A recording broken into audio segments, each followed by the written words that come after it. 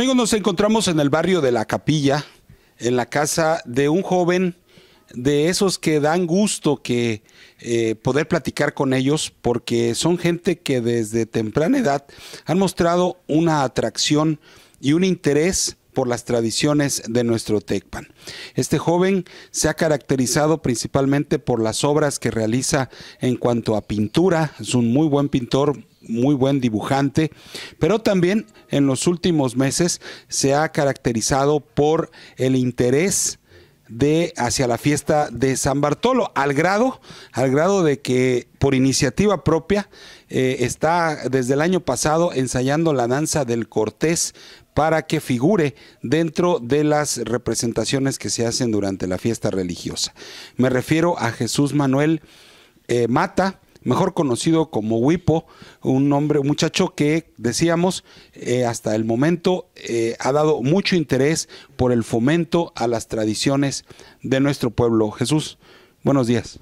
Buenos días, ¿cómo estás? Hoy tenemos oportunidad de platicar con él aquí en la intimidad de su casa, en el lugar donde encontramos, está eh, elaborando o pintando el toro que representará a la capilla en la próxima fiesta de San Bartolo. Ese es el trabajo que realizas ahorita. Sí, ahorita en ese momento pues se me dio la labor, la tarea y por iniciativa propia también de llevar a cabo eh, la pintura del toro. Eh, ¿Cuánto tiempo lleva este tipo de pintura? Eh, aproximadamente unas 72 horas seguidas, si, si bien nos va. Sin parar. ¿Cómo va a ser el diseño del toro? Bueno, la idea es que alrededor eh, tenga la representación iconográfica de las siete danzas y en el lomo pues arriba algo representativo de aquí, ya sea la agricultura, eh, la ganadería, las playas, el turismo. Eso es lo que, lo que más o menos nosotros deseamos que tenga el toro, algo tradicional. ¿Quién encarga esto? ¿El presidente de los festejos? Mm, eh, en este caso él me comentó que había visto un toro igual que yo ya había pintado también, que era de la famosa, el famoso barrio de la Reforma. Y este, pues a mí me pareció también la idea, ¿no? De que si este es el barrio de la capilla, que lleve las siete danzas. ¿Cómo nace el interés de Huipo por, por estas tradiciones, por participar, por involucrarse en lo que es la tradición de San Bartolo? Bueno, pues yo desde pequeño, yo creo que más por mi mamá, porque a ella le gusta quedarse siempre después del desfile a ver todas las danzas, todas las danzas, hasta que terminan. Y a mí también, así que desde ahí ella me inculcó que, que pues me gusta, eso me gusta. A mí. Puede, puede, pensarse que como cualquier joven, pues le gusta lo que es la, la, el ver, el ver la tradición, pero ya involucrarse al grado de, de incluso ensayar una danza, pues no cualquiera, ¿no? Sí, eso es algo muy interesante porque yo al principio no, no, no participaba como tal por otras cuestiones, ¿no? No sé, esto, yo pensaba que, que cobraban o algo así. Uno no se acerca a veces. Pero eh, conforme me fui acercando hace como unos 5 o 3 años, este, ya me involucré más dentro del grupo de los capilleros y pues ahorita también hemos visto que la gente o más bien los chavos que me están apoyando les gusta eso. ¿Por qué la danza del Cortés y no otra danza?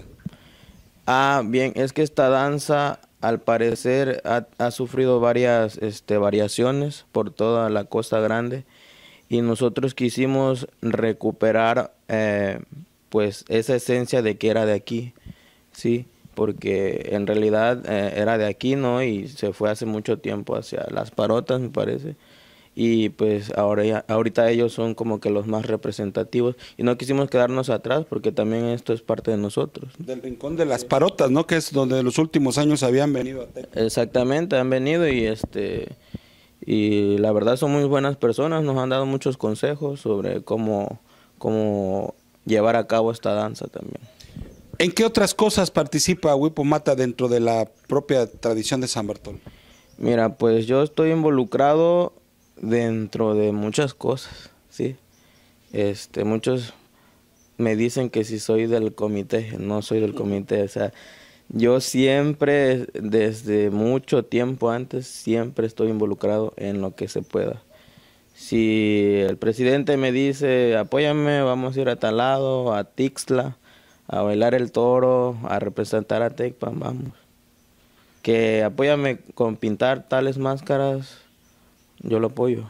Apóyame con pintar tal traje o X cosa, yo lo apoyo. Conseguir gente para las danzas, yo lo apoyo. Yo estoy ahí. Siempre metido. Sí, porque me gusta. Soy de aquí y es algo que pues me nace. ¿Qué le dice a Huepo Mata el hecho de que lamentablemente los jóvenes actualmente no tienen tanto interés por, por esta tradición?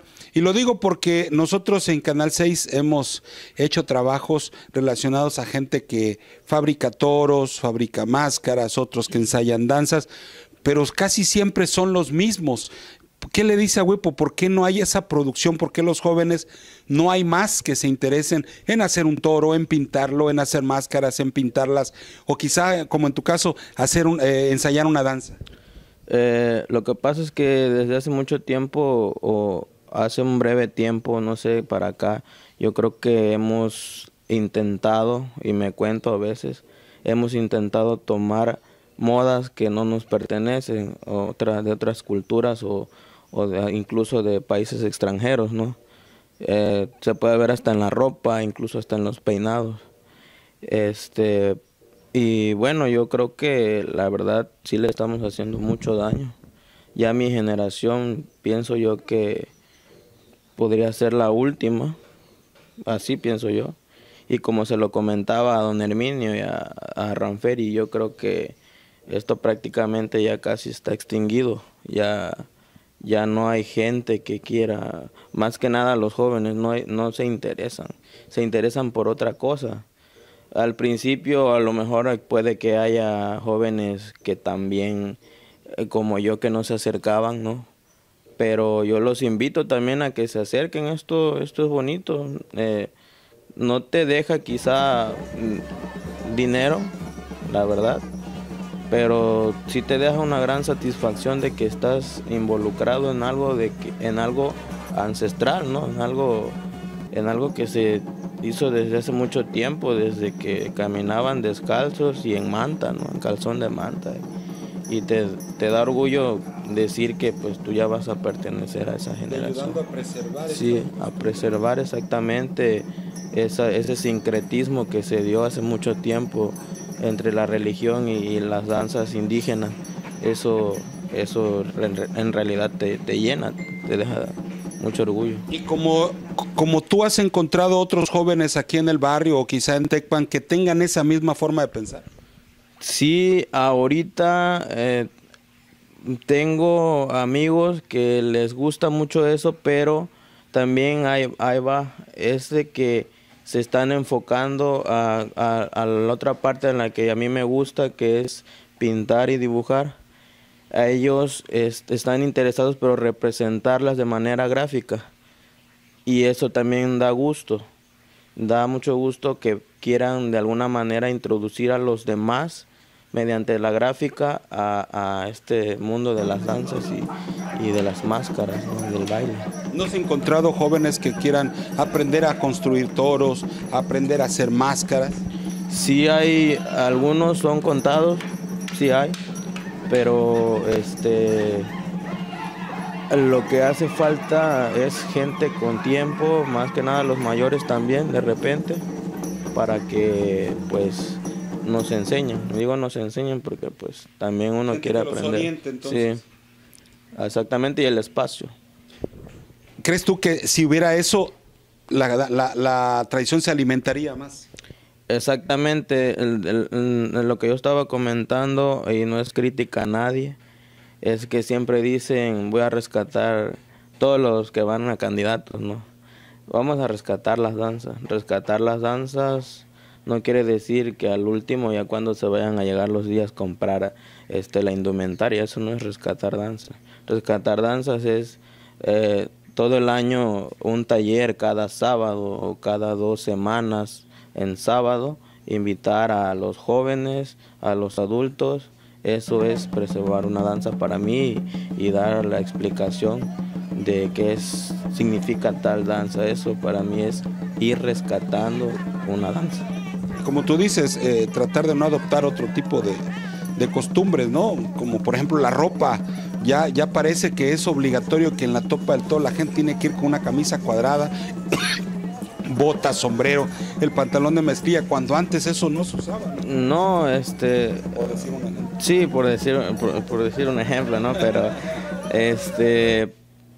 No sé qué pasó ahí de, de un tiempo acá, yo creo que desde que se, se hizo el desfile, a mi manera de pensar, eh, he visto en las fotos que algún dos que tres personas, este, y como que, no sé, lo trajeron de otra, de otro tipo de, eventos como el pendón o algo así, porque la gente antes se vestía normal en playera, eh, en short incluso, así iban a ver la, la, la topa del toro.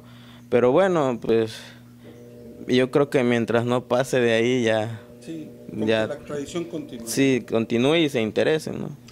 Pues esta ha sido la plática con, con José Jesús Manuel, que en, esta ocasión que nos da permiso de entrar hasta la intimidad de su casa, donde está trabajando precisamente en la elaboración pintura del toro que va a representar a la capilla en la próxima fiesta de San Bartolo. Un joven que ojalá como él hubiera más aquí en Tecpan con esa mentalidad y con esa idea de continuar alimentando la tradición de la fiesta de San Bartolo. Muchas gracias, Jesús. Muy bien, este, gracias y los invito a que, que pues se, unan a nosotros en todo sentido, ¿no? Que, que por favor ya dejen las diferencias, ¿no? Que, que, el, que, esto es de todos y es preocupante que no se interesen. Muy bien. Muchas gracias. Gracias amigos para Canal 6, Rodolfo Balades.